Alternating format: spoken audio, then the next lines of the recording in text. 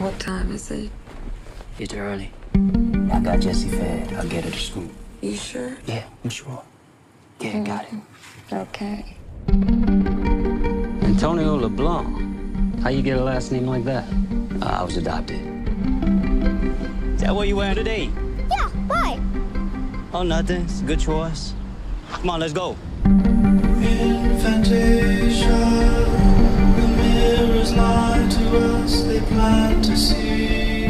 Where are you from?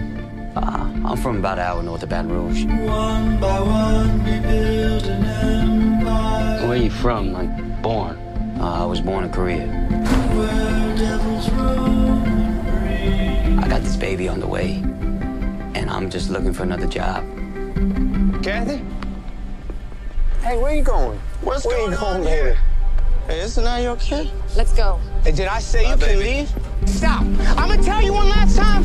Okay, that's it. Put your hands on Let him go! Do something! I posted bail. He should have been out by now. He's not here anymore. ICE took him. What? I just don't understand how they can deport him. I was brought here when I was three. Can't we do something about this? I mean, listen to him. Look at him. He's American.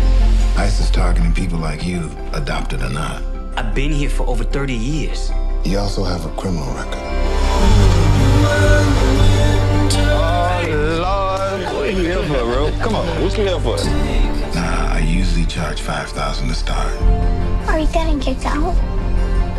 Nah, baby girl. I ain't going nowhere.